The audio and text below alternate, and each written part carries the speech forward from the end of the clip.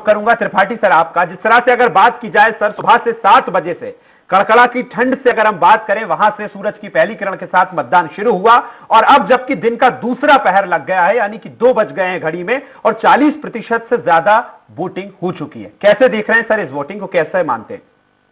निश्चित तौर पे देखिए, मैं बता दूँ कि जो वोटिंग है जैसे आपने इसके पहले जो अंठावन सीटों का चुनाव हुआ था उस दौरान भी लगभग इतने बजे इतने ही प्रतिशत वोट हुआ था। मैंने पहले भी कहा था कि अगर वोटिंग परसेंटेज पैंसठ से ऊपर जाएगा सत्तर के लगभग जाएगा तो यह जो भी सरकार होती है बीजेपी को हो सपा को हो उसके लिए फ़ायदा हो, होता है और जो अंठावन सीटें पिछली बार हुई हैं चुनाव उनमें तीन परसेंट वोट कम हुआ है और अभी इसी समय लगभग उनतालीस चालीस प्रतिशत वोट हो चुका है। हमारे साथ अमर जी जी हैं अमर जी आप तो उत्तर प्रदेश की राजनीति को बहुत अच्छे से जानते हैं वहाँ पे जो इसके पहले वोटिंग परसेंटेज जो मुझे मालूम है, मुझे अपनी जानकारी के अनुसार कि कोई भी सरकार में जब वोटिंग परसेंटेज बढ़ता है तो सत्ता पक्ष की ओर जाता है। और यहाँ पे वोटिंग परसेंटेज पिछली बार तिरसठ था, जिससे घट के इकसठ आ गया था, साठ आ गया था। मुझे लगता है उससे नुकसान होगा और अभी दो बज गए हैं और जो अधिकतम वोट वोट जो पड़ने का समय होता है, वो लगभग चार से पाँच बजे के बीच में ही होता है। लोग फुर्सत होकर वोट डालने जाते हैं। क्या लगता है, कितने परसेंट तक जा सकता है ये? देखिए मुझे जिस तरह से लगता है कि पहला अगर हम चरण को देखें तो लगभग पहले चरण में भी यही हाल था और सेम वही जो प्रक्रिया या सेम जो पैटर्न बोले वही सेम पैटर्न हमें यहाँ देखने को मिल रहा है। पहले में भी जो हम आंकड़ा रखे थे उससे कम ही प्रतिशत पहुँचा जो कि हम आप जब डिस्कशन भी कर रहे थे तो यही बात कर रहे थे कि एक वोटर्स भी तो बढ़े होंगे। निश्चित तौर पे। हाँ कि अपने वोट वोटर्स बढ़े होंगे उस हिसाब से प्रतिशत जो है वो उल्टा कम हुआ। हाँ। और वही जो पैटर्न है वो हमें दूसरे चरण में भी देखने को मिल रहा है। और बिल्कुल आपका कहना सही है कि इससे हमें लग रहा है कि जो मौजूदा सरकार है उसको यहाँ पे मुझे लग रहा है कि नुकसान हो सकता है क्योंकि ये जो पैटर्न है वो सेम वही रिपीट कर रहा है और उसी ढंग से चल रहा है।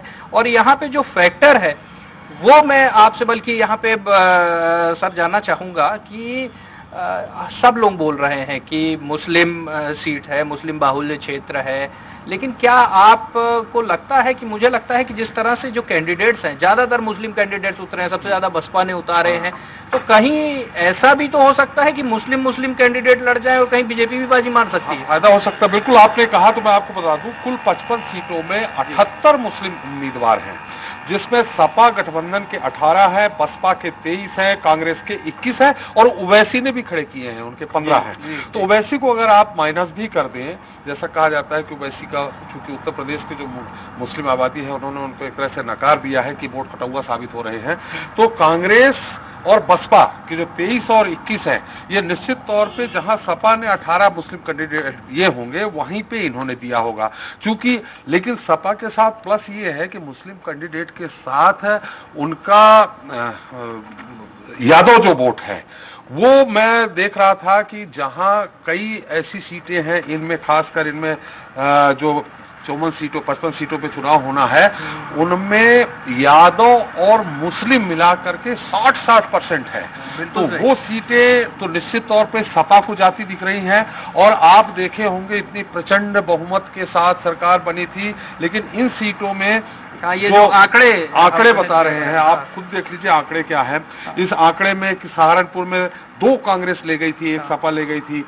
बिजनौर में छह ठीक थी बीजेपी बीजेपी, दो हाँ। सपा थी। मज़बूत मतलब सपा सब जगह है। हाँ। सपा सब जगह है। और अगर हम मुरादाबाद की बात करें तो यहाँ पे आप देखिए कि सपा उल्टा चार है। चार सीटें हैं। जिस तरह का समीकरण इस बार बन रहा है और जिस स्मार्टली के साथ मुझे लग रहा है सपा यहाँ पे प्ले कर रही है ज़ाहिर तौर पे ये लगता है त्रिपाठी जी, आप कितना इतफाक रखते हैं? मुझे जो लग रहा है कि पिछली बार 38 सीट बीजेपी निकालने में कामयाब रही थी और सपा के पास 15 थी।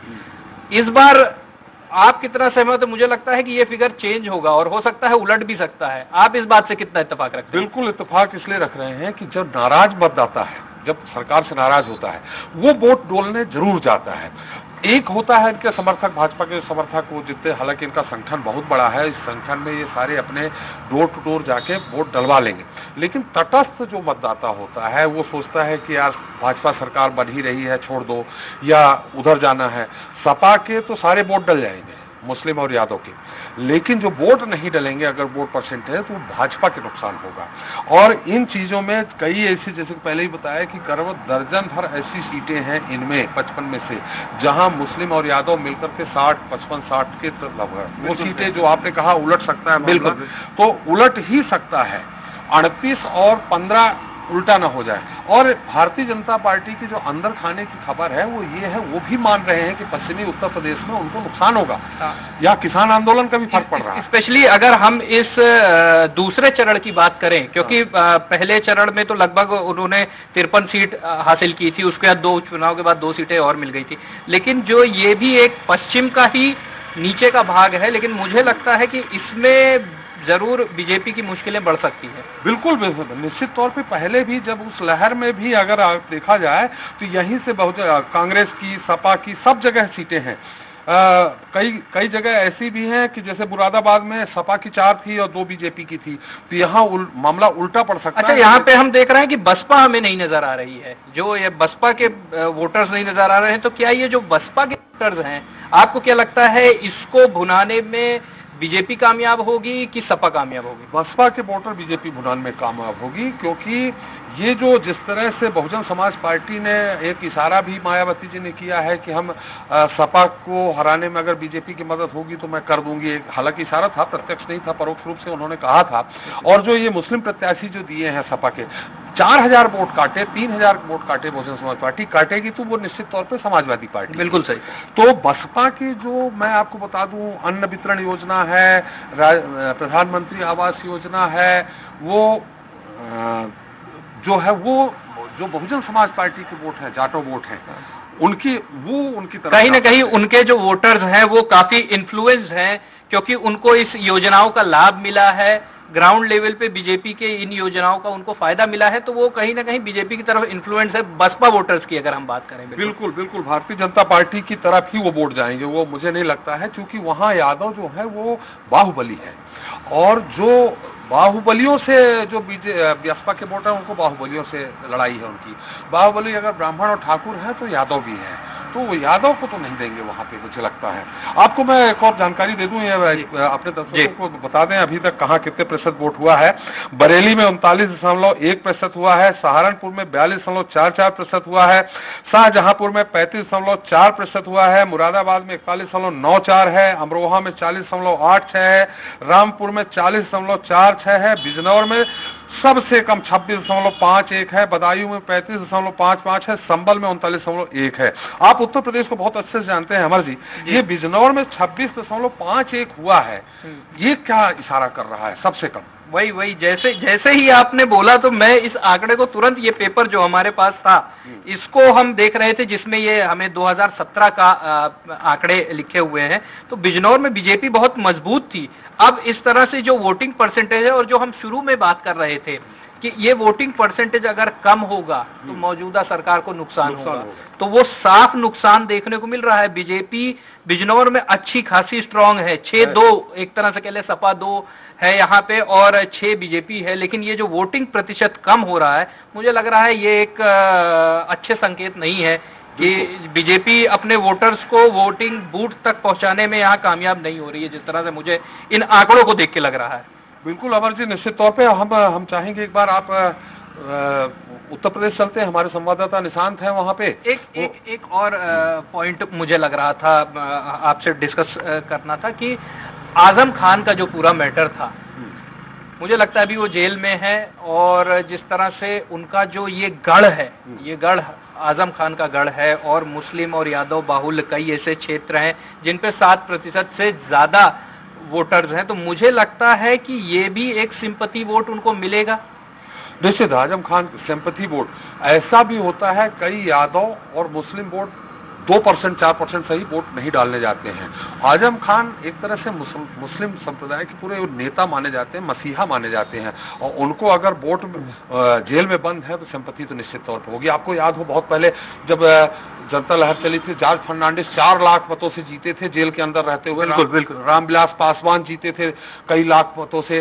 तो वो जेल में थे इस कारण उनके साथ बहुत ज़्यादा संपत्ति थी। उसके बाद ये बड़े बड़े नेता कहलाए कि जेल से चुनाव जीत गए। और इस चुनाव और इस चुनाव में तो एक तरह से क्लियर भी हो गया है कि भाजपा और सपा लड़ रही है चुनाव आमने सामने और हिंदू मुस्लिम वाला भी फैक्टर कहीं ना कहीं क्लियर हो गया है। सपा भी मुस्लिम और यादव पे और थोड़े बहुत अन्य उस पे खेल रही है। तो मुझे लगता है कि आज़म खान वाला जो रोल है और बड़ा इंपॉर्टेंट यहाँ पे अमरजीत होने जी आपसे और सर आप त्रिपाठी जी आपसे भी मैं यही जानना चाहूँगा यदि हम भाजपा को देखें तो टिकट वितरण में इस बार भाजपा अटैकिंग मोड में नज़र आई। लगातार युवाओं को नए चेहरों को जगह दी गई है और यदि रामपुर की यदि हम बात करें जिस तरह से आप आज़म खान को लेकर बातचीत कर रहे हैं तो वहाँ से बीजेपी को इस बार आकाश सक्सेना को उतारा गया है। आकाश सक्सेना की भूमिका देखी जाए तो वो कई बार आज़म खान को लेकर लगातार उनकी कृतियाँ प्रतिक्रियाएँ जो है वो सामने आती रही हैं। अब उनको लेकर आकाश सक्सेना को वहाँ उतारना। बीजेपी के लिए कितना बड़ा गेम चेंजर रामपुर में साबित हो सकता है? आप दोनों से मैं ये जानने की कोशिश करूँगा। बिल्कुल अमर जी निश्चित तौर पे जैसा कि कहा जा रहा है कि आकाश सक्सेना ये आकाश सक्सेना वही है जिनके कारण ये जेल गए हैं। और अब आकाश और सबसे ज़्यादा अब 80 से लगातार आज़म खान चुनाव जीते कभी नहीं हारे हैं अजय रहे 80 से लगातार।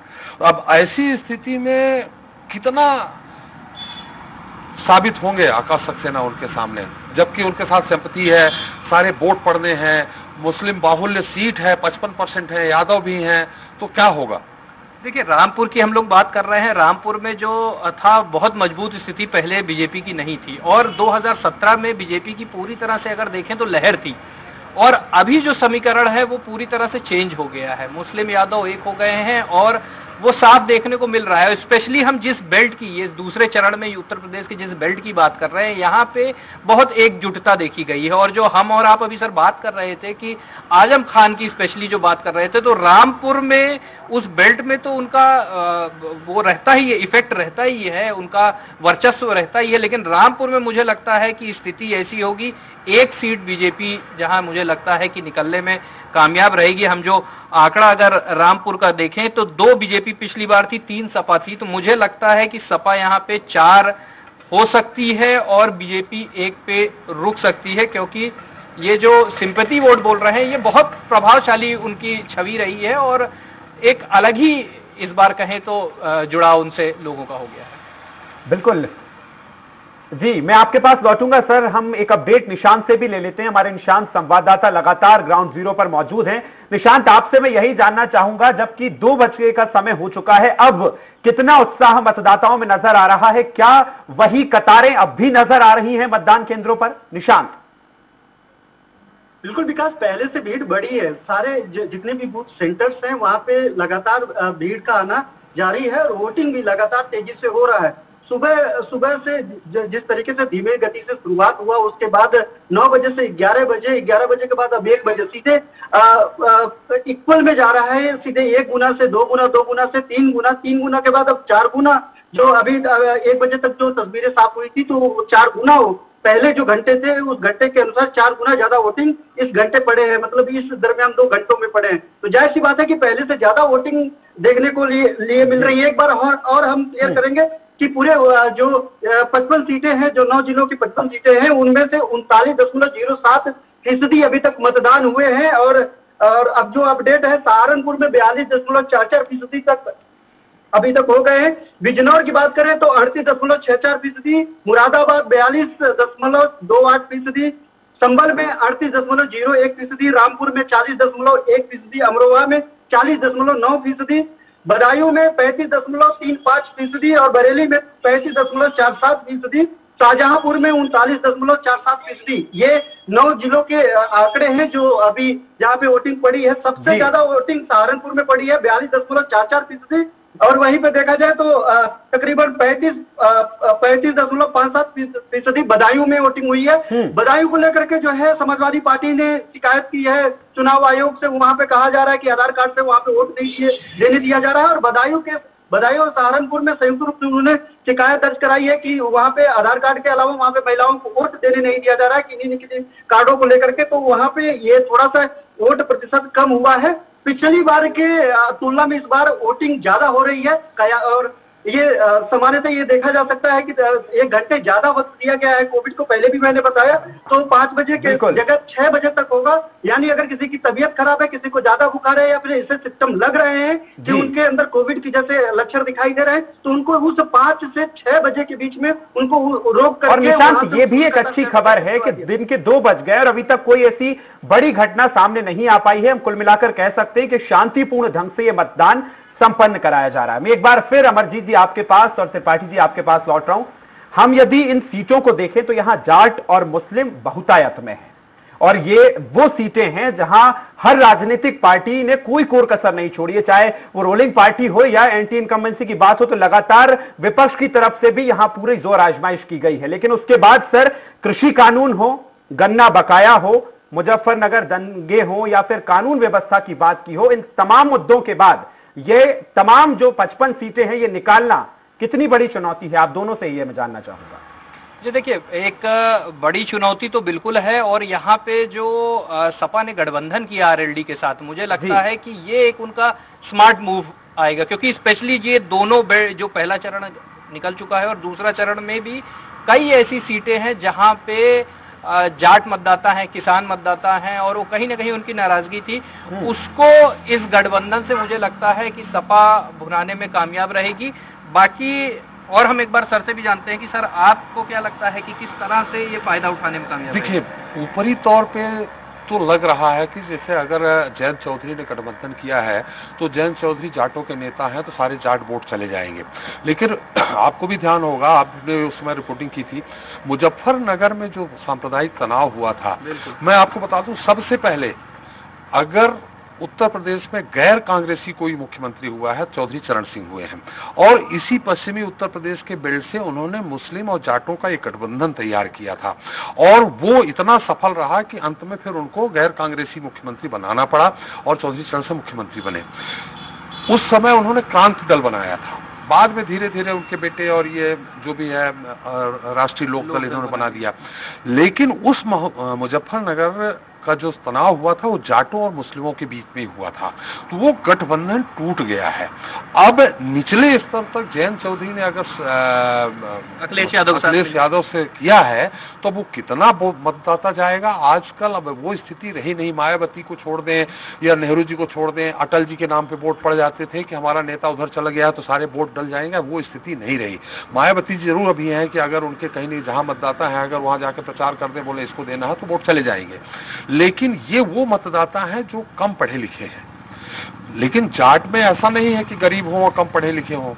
तो वो कितना पलटते हैं, ये तो खैर बाद में मालूम पड़ेगा। लेकिन जो एक, आप भी बता रहे थे कि एक सर्वे टाइप का किया था तो उसमें अभी भी 50 परसेंट मतदाता, जैसे पिछली बार 100 परसेंट जाट बीजेपी की तरफ़ गए थे, अभी 50 परसेंट मतदाता बीजेपी के साथ हैं। क्या लगता है आपको? कहीं कहीं ना कहीं उनको कृषि कानून की जो नाराज़गी थी और लखीमपुरी कांड की अगर हम बात करें तो वो एक नाराज़गी लोगों के अंदर थी। हालाँकि बीजेपी ने बड़ी कोशिश की इसको कम करने की, चाहे हम गन्ना, कसीन के साथ खरीदी की बात करें, उसको भी रेट बढ़ाया।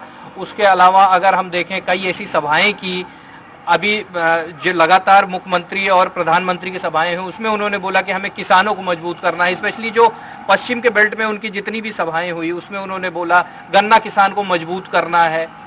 और कुछ मुस्लिम फैक्टर जो हम यहाँ बात कर रहे हैं, उन्होंने मुस्लिम महिलाओं की तीन तलाक की बात की तो बीजेपी भी अपनी तरफ़ से कोशिश कर रही है, लेकिन मैं बिल्कुल सर आपसे इतफाक रखता हूँ कि जो एक तरफा किसान के जो वोट थे उसका वो एक तरफा तो इस बार चुनाव में नहीं देखने को मिलेगा क्योंकि ये ये जो मैटर है ये थोड़ा बहुत तो प्रभाव डालेंगे उन पर बिल्कुल अमर जी जैसा आपने गन्ना किसान की बात कही है हालाँकि मुद्दा अभी भी बना हुआ है कि जो खरीदी समर्थन मूल्य पे गन्ना खरीदी हुई है उसका भुगतान अभी बहुत सारे लोगों को नहीं हुआ है हाँ। लेकिन एक जो इन्होंने लगभग पचास रुपए समर्थन मूल्य बढ़ाया अखिलेश सरकार में जो थी लेकिन मजबूरी है इनकी कि जो साढ़े तीन सौ तक की पहुँचाए हैं इनका कहना चार सौ पहुंचाओ।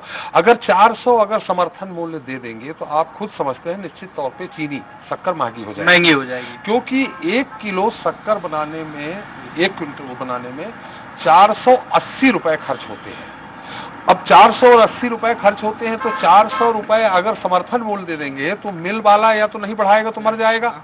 वो इसलिए कि उसकी मिल है बिजली का बिल है मजदूर है अस्सी रुपए का कौन वो करेगा? कौन? जी, जी, जी। तो इनका कहना है कि बहुत सारी चीज़ें शक्कर निकालने में खीरी है बहुत सारी चीज़ें और होती हैं वो बेच के वसूले। अरे कौन फिर मिल डालेगा? या तो चीनी महँगी होगी। या समर्थन मूल्य अगर बढ़ाते हैं जैसा कई उनने अपने घोषणा पत्र में भी कहा है लेकिन समाजवादी पार्टी ने स्पष्ट तौर पे नहीं कहा कि हम कितना बढ़ाएँगे। 400 की बात और पार्टियों ने की है कांग्रेस ने की है सबने की है। इसमें एक और बहुत विशेष बात है जैसा आपने कहा कि जो तीन कानून वापस हुए हैं तो पहले तो वन साइडेड किसान इनसे नाराज़ थे। बिल्कुल। कारण कुछ गए हैं। लेकिन जब व्यक्तिगत बात आती है कि जब सांप्रदायिक तनाव जिसके घर से कोई मरा होगा नुकसान हुआ होगा वो फिर चाहे समाजवादी या जयंत चौधरी कितना भी गठबंधन कर दें वो नहीं जाने वाला है। वो बीजेपी की तरफ़ जा सकता है। क्या कहना वो है वो, वो जिस जिसकी व्यक्तिगत क्षति जिसको हुई होगी जी। वो बिल्कुल नहीं बोलेगा जैसे अभी हम लोग बात कर रहे हैं लेकिन एक चीज़ और है यहाँ पे मुझे लगता है त्रिपाठी जी की अगर हम लोग बात कर रहे थे कोरोना काल की भी बात कर रहे थे कि इतने लोग हमारे बीच नहीं रहे, जो जो लोग गुजर गए इस कोरोना के सेकेंड वेव की अगर हम बात करें तो ये भी लग रहा था कि बीजेपी को इसका नुकसान देखने को मिलेगा।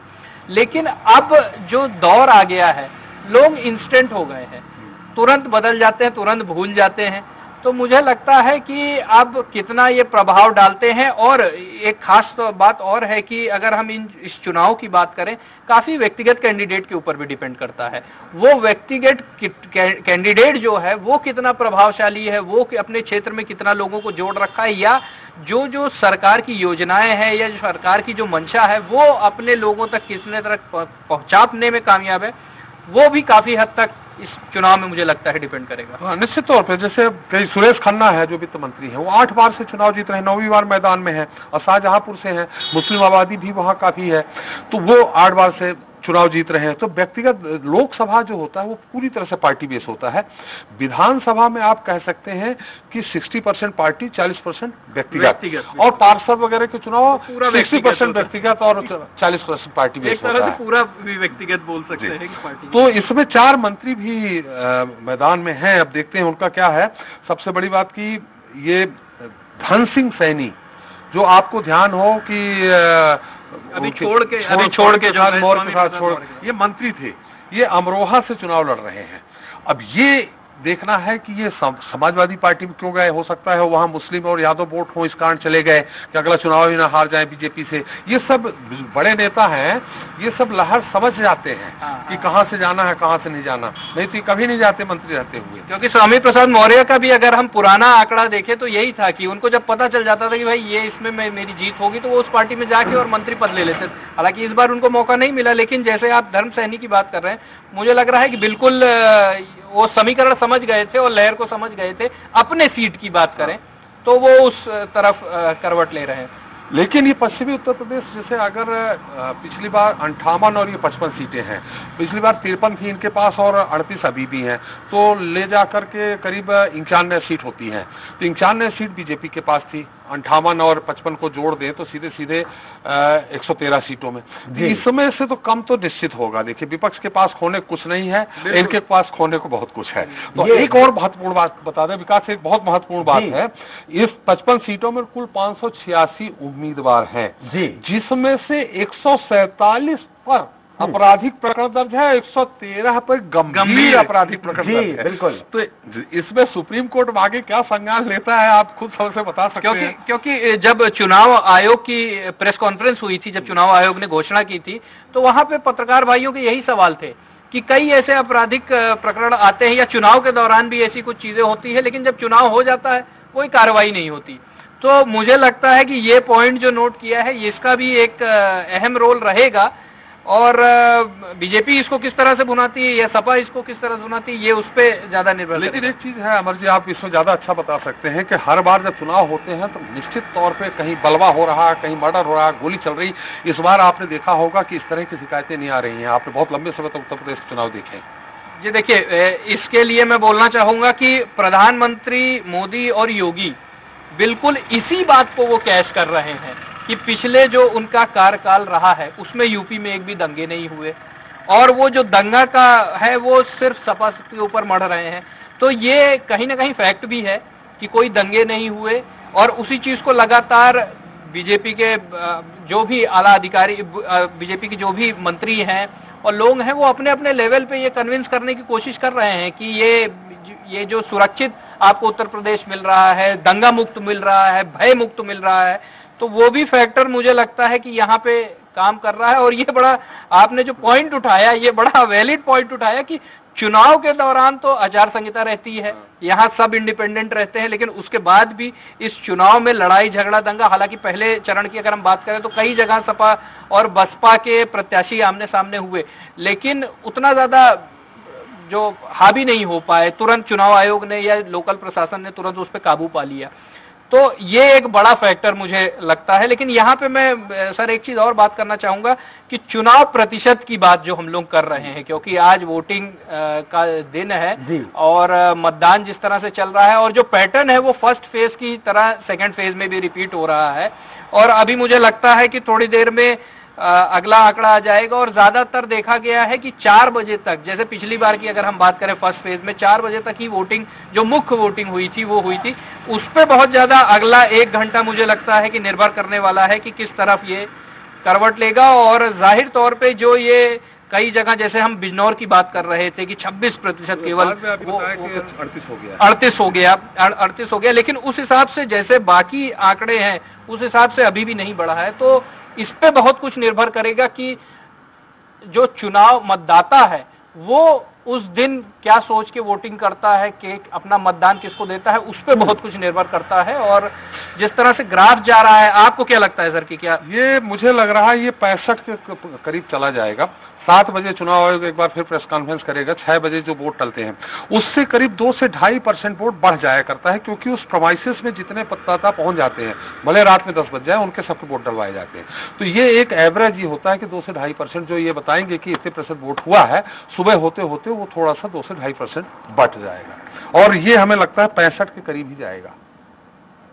तो ये था विकास जो अभी हम लोगों को लगता है कि स्पेशली अगर हम वो, वोटिंग प्रतिशत की बात करें जैसा कि पाटिल जी ने भी बताया कि पैंसठ प्रतिशत तक वोटिंग परसेंटेज जो है हम्म। वो पहुँच सकता है। तो मुझे लगता है कि तब पर भी जो सिनेरियो है जो अगर हम बात करें पहले चरण का लगभग उसी तरह का ही हमें पैटर्न देखने को मिल रहा है। बिल्कुल सर, आप जिस तरह से मैं आपको बता दूँ कि निशांत भी हमारे साथ संवाददाता जुड़े हैं। यदि आप दोनों उनसे कोई प्रश्न करना चाहे तो ज़रूर पूछें। लेकिन जिस तरह से अभी आप बीजेपी की स्ट्रेटेजी पे बात कर रहे थे, चाहे वो गन्ना को लेकर हो या तमाम चीज़ों को लेकर हो, यहाँ से एक प्रश्न मेरे भी जहन में है। सर, उस पर एक संक्षिप्त में टिप्पणी आप दोनों से ही मैं चाहूँगा। बीजेपी ने यदि हम इस क्षेत्र को देखें, इस बेल्ट को देखें तो ये वो क्षेत्र है जहाँ लघु उद्योग के लिए लोग बहुत तत्पर दिखते हैं। लघु उद्योगों की अगर हम बात करें और जैसे हम अगर उदाहरण को भी देखें तो रामपुर का चाहे वो चाकू हो, मुरादाबाद के बर्तन हो, शाहजहांपुर की जरदोजी हो या फर्नीचर के लिए ये एरिया माना जाता है। और इसके बाद बीजेपी ने एक स्ट्रेटेजी को लेकर बीजेपी सामने आई, चाहे वो सीएम योगी आदित्यनाथ हो प्रधानमंत्री हो उन्होंने अपनी रैलियों में यह ज़िक्र किया कि हम ओडीओपी यानी कि वन डिस्ट्रिक्ट वन प्रोडक्ट को बतौर विकास ने भाजपा के विकास के तौर पर पेश किया है। इसकी यही वजह थी कि इन जहाँ अब अट्ठावन पचपन सीटों पर चुनाव चल रहा है वहाँ लघु उद्योग बहुत ज़्यादा है। तो ये स्ट्रेटेजी किस तरह से बीजेपी तैयार कर रही है कानून व्यवस्था को लेकर इस पूरी स्ट्रेटेजी को कैसे देखते हैं आप?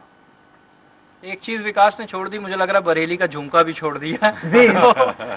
अलीगढ़ का ताला जी। अलीगढ़ का ताला विकास का बरेली का झुमका।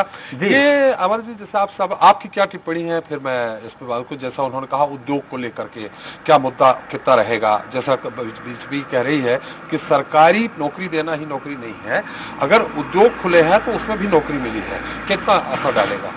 देखिए बिल्कुल क्योंकि रोज़गार का एक ऐसा मुद्दा रहा है जो पूरे उत्तर प्रदेश में कहीं ना कहीं मुझे लगता है, या अगर हम पूरे देश की बात करें तो बीजेपी पे लगातार जो लोगों ने सवाल उठाया है, और मुझे लगता है विपक्ष को भी जो एक गैप मिला है, वो रोज़गार पे ही मिला है।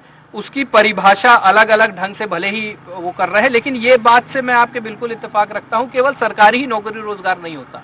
उद्योग की जैसा विकास भी बात कर रहे हैं और स्पेशली उस बेल्ट में अगर हम देखें तो 60 से 70 प्रतिशत जो है फ़र्स्ट फ़ेज़ में एग्रीकल्चर वाले लोग थे, कृषि थे और ये जो सेकेंड फ़ेज़ में आप बात कर रहे हैं जिस तरह से छोटे लघु उद्योग, बिल्कुल अगर इसमें इजाफा की ज़रूरत है और अगर इजाफा होगा तभी जाके लोगों को जो वोटर्स हैं उनको एक सिक्योरिटी मिलेगी, जो एक हर आदमी को होता है आत्मनिर्भरता हालाँकि बीजेपी ने जितने नारे दिए हैं मुझे लगता है कि बहुत इन्हीं सारी दिशा में दी है लेकिन कहीं ना कहीं एक कमी बीजेपी की तरफ़ से देखने को मिली है। निश्चित आपने जैसा उद्योग के बारे में तो आपने बता ही दिया है काफ़ी कुछ सुधरा होगा। कानून व्यवस्था बहुत बड़ा मुद्दा है। ये कानून व्यवस्था और इसको लेकर योगी सरकार नंबर वन पे अगर कोई आप घोषणा पत्र में या अपने पाँच साल के अच्छे कार्यों को गिनाते हैं तो योगी सरकार में कानून व्यवस्था को लेकर आपने देखा होगा हफ्तागिरी आप उत्तर प्रदेश से भी जुड़े हैं। हफ्तागिरी बंद हो गई गैंगस्टर खत्म हो गए। ये वाली जो वहाँ पुलिस का खौफ आया है, आम आदमी सत्तर परसेंट, अगर गैंगस्टर परेशान है तो मुश्किल से दो चार परसेंट प्रसन्न होते होंगे, बानवे परसेंट लोग परेशान उनसे होते हैं, हफ़्ता वसूली से। वो इनकी तरफ़ जा सकते हैं। कानून व्यवस्था सबसे बड़ा मुद्दा है जो मुझे लग रहा है। बिल्कुल, वहाँ पे जैसे कि मैं खुद उत्तर प्रदेश से आता हूँ, जो हमारे परिवार के लोग हैं, वो भी इस बात को मानते हैं कि अब वो थोड़ा सुरक्षित महसूस करते हैं। जो गुंडागर्दी, दादागिरी, वो बोल रहे हैं, उस पर प्रभाव, जो एक डर का माहौल होता है कि प्रशासन, पुलिस की भी कुछ भूमिका है, वो देखने को मिली है और इसी चीज़ को बीजेपी भी भुना रही है और मुझे लगता है भुनाना भी चाहिए क्योंकि एक उत्तर प्रदेश एक अपने आप में इतना बड़ा राज्य है, सबसे बड़ा राज्य है। और उसमें कानून व्यवस्था को, मुझे लगता है योगी आदित्यनाथ के लिए ये एक बड़ा चैलेंज भी था।